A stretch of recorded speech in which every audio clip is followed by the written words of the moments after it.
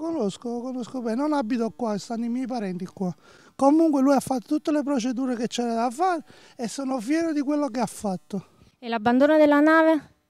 Abbandonare la nave, lui doveva abbandonare la nave, la nave non era più in sicurezza di stare nelle condizioni come si vede. L'ha, fatto, l'ha dovuto fare perché giustamente non era più in sicurezza di stare a bordo.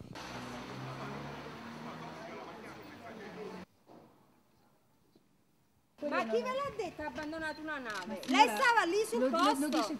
Ma chi? Quello col microfono, il comandante della Guardia Costiera che stava lì a terra col microfono a, a dare ordini. Ma di che cosa? ma se lui ha fatto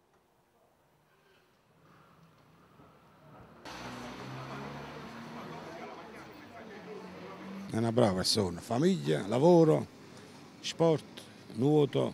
In questi periodi lui andava anche a fare i bagni. Una persona normale. Forse è una consuetudine passare così vicino, Eh, Ma neanche qua lo fanno.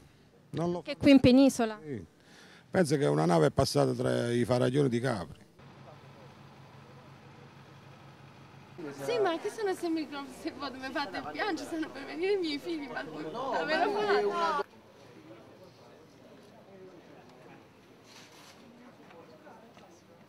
Un comandante deve essere l'ultimo ad abbandonare la nave,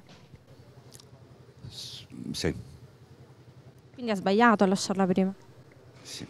Eh, ci sta una cosa diciamo, della Marina che ci sta proprio scritto che questo, il capitano è l'ultimo a abbandonare la nave.